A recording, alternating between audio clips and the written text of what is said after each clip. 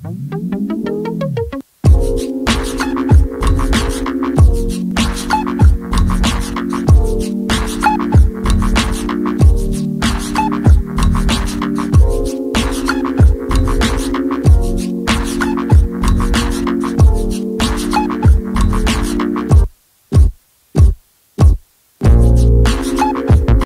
dengan harga murah? Dengan harga di bawah 2 juta emang ada? Ada sob ini dia Avi 1 lit penasaran intro dulu dong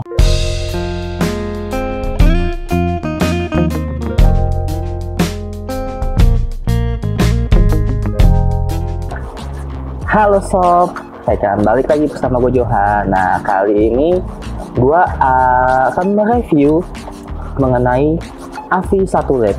Oke, sebelumnya disclaimer gue akan memberitahukan terlebih dahulu bahwa AVI 1 LED ini tuh merupakan CM dari Indonesia. Ah, gue mau maaf ya kalau ini berisik. Hujannya gede banget. Wah, nggak manusiawi ini hujan.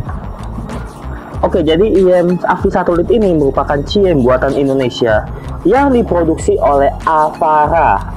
Oke, Avara sendiri itu merupakan salah satu uh, custom ini monitor pertama di Indonesia yang menurut gua tuh sudah luas banget pasang pasangnya gitu loh. Aduh ini gua kayaknya sudah mundurin dikit. Nah, oke cakep lah. Oke. Five minutes later.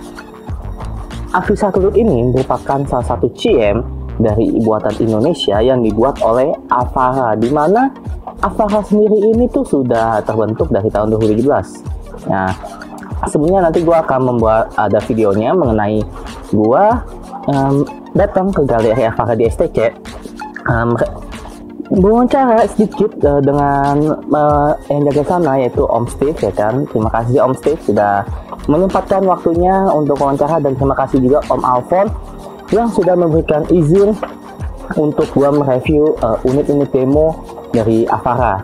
Nanti akan banyak ya karena Avara semua series akan gua review di sini. Nah, ta, lanjut. Avi Satelit ini tuh seperti yang gue bilang kan CN buatan Indonesia. Nah, Avi Satelit ini merupakan CN termurah yang gua tahu saat ini ya kan. Di mana tuh cium-cium itu pasti di atasnya 4 juta, 3 juta, 7 juta malah ada ya kan. Malah ada yang ratusan uh, puluhan juta malah gue bilang. Tapi Avi 1 ini tuh benar-benar harganya manusiawi banget sob. Di mana harganya itu hanya 1,4 juta. Ingat ini tuh di luar artwork atau desain yang lain ya. Oke, jadi kalau kalau bosan kayak gini ya mungkin uh, akan harganya seperti itu 1,4 juta saja itu. Oke. Nah lanjut uh, untuk harga ditawarkan yang gue bilang 1,4 juta apakah hasilnya bagus atau biasa saja nah itu nanti akan gue beritahukan di uh, berikutnya so pantengin sampai habis ya oke okay? Avi Satelit ini merupakan um, project dari Avara yang menggunakan single balance amateur buatan Sonyon di mana sistem uh, balance amateur itu tuh beda sama dynamic driver atau elektrostatik ya seperti yang gue pernah sebutkan. Jadi single BA itu tuh kayak bentuknya kecil tipis gitu loh. Nah ini kalian bisa lihat ya kan?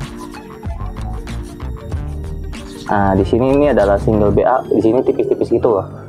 Nah oke okay, kalian bisa lihat. Di sini tuh warnanya yang gue dapat unit demonya itu bening dan ada tulisan AV1L nya tuh kayak gini. Cakepan sob. Nah lanjut. Anyway ada tambahan kata mengenai AVI 1 lead ini. AVI 1 lead ini tuh menggunakan sistem yang sama dengan Avara-Avara yang lain yaitu menggunakan sistem dual pin 0,78 mm dengan kabel detachable di mana tuh kalian bisa ganti-ganti kabel tentunya dan menggunakan jack standar 3,5 mm dan ya kabelnya itu tuh ada yang silver dan copper ya. Ini tergantung serinya oke? Okay? dan Avi Satelit ini tuh mengg uh, menggunakan full resin yang berisi ya kan? Dan sobat bisa lihat bahwa di situ tuh ada satu B lens amateur teknologi lens amateur yang kecil nyelip di situ tuh. Nanti kan gue kasih lihat ya kan tempatnya. So lanjut Oke, okay, untuk pemesanan uh, Avi Satelit, sobat bisa datang ke Avara yang ada di STC, Avara Galeri, atau ke dealer-dealer terdekat. Untuk uh, lebih lengkapnya gue akan taruh di deskripsi di bawah. So kalau kalian tertarik kalian bisa cek uh, di deskripsi di bawah mengenai produk-produk dari Avara atau kalian pengen buat kayak gimana caranya tuh ada di bawah nanti ya. Oke okay? pantengin lanjut ke unit AVI 1 LED-nya nah 1 LED ini tuh gua dapat hanya demo unitnya. Jadi ya mungkin akan berbeda kalau misalkan kalian membuatnya secara custom. Yang di mana tuh custom itu tuh jadi mengikuti uh, lubang kuping kalian atau dalaman kuping kalian. So mungkin akan berbeda ya. Nah jadi custom in, monitor ini tuh jadi uh, kupingnya itu nggak nggak universal ya. Jadi misal uh, misalkan melakukan kalian tuh seperti apa nanti akan menyesuaikan gitu nih. Dan mungkin uh, suaranya sih kan tuh berarti lebih fokus menurut gua. Nah di sini uh, seperti yang gue bilang, gue meminjam unit uh, demo dari Avara. Demo yang diberikan pinjam itu uh, bentuknya universal tentu ya kali kalau gue custom jadi gituan nanti malahan nggak mungkin kan jadi unit yang gue review ini tuh custom ya custom lagi universal salah kata Nah jadi tuh universal ini tuh dia bisa pakai air tips. Nah tinggal lihat kalau misalkan custom tuh nggak bisa pakai air tips gitu. Jadi tinggal plug aja langsung masukin kuping kalian selesai gitu. Itu keenakannya dan silknya itu lebih dapet dibanding kalau pakai universal.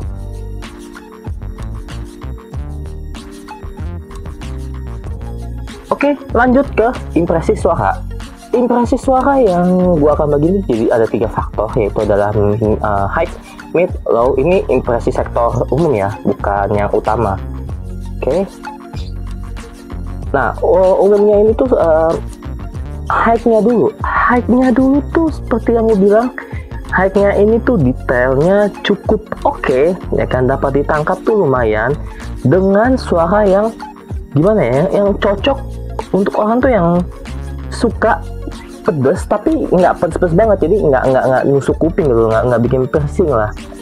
Tapi ini tuh hanya gimana ya misalkan ada kayak ada lima tingkat nih ada lima tingkat nih ya lima tingkat height nih. Ini heightnya itu tuh ada di sektor tiga nih. Kalau misalnya lima tuh udah pedes nih. Ini tiga lah. Kalau di abang-abang nasi goreng tuh ya ya karetnya tiga lah. Cabenya tiga gitu. Nggak nggak lima nggak pedes gitu tapi ya lumayan lumayan lah menurut gua detail yang ditangkap tuh cukup oke okay dengan separasi yang menurut gua tuh cukup ya kan cukup aja oke okay?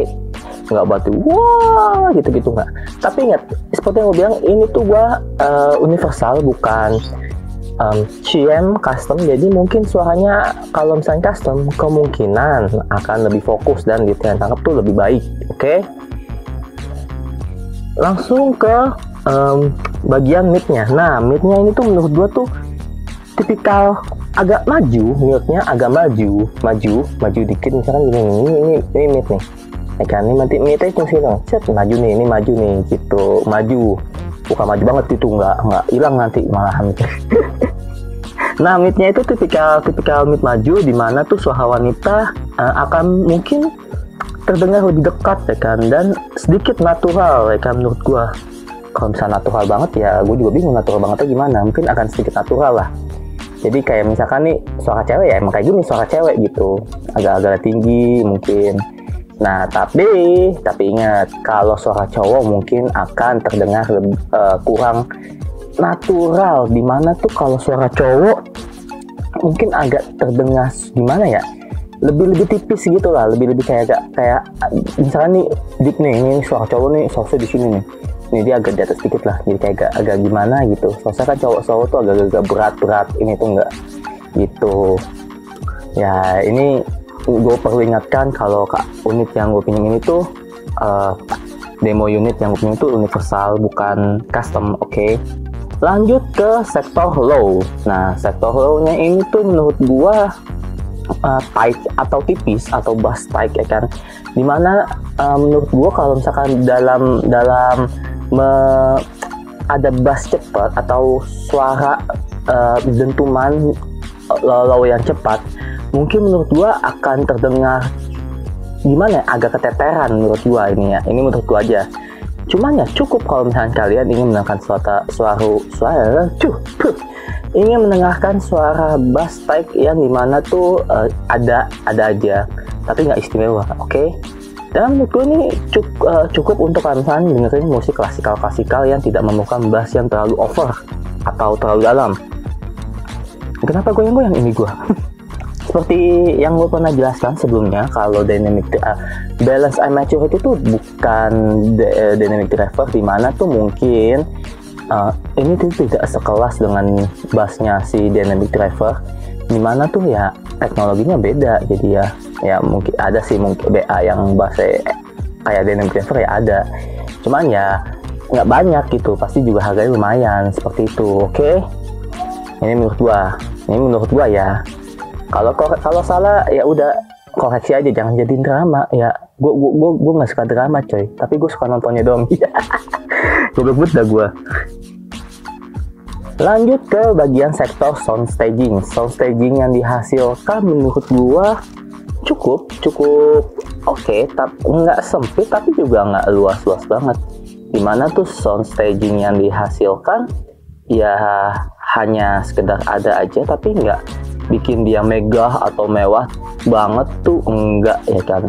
Dan yang menurut gua pas-pas aja gitu Nah ingat ya ini tuh nggak terkesan sempit atau terlalu luas perlu diingatkan lagi ya. Gue gue nanti takutnya tersalah lagi nih.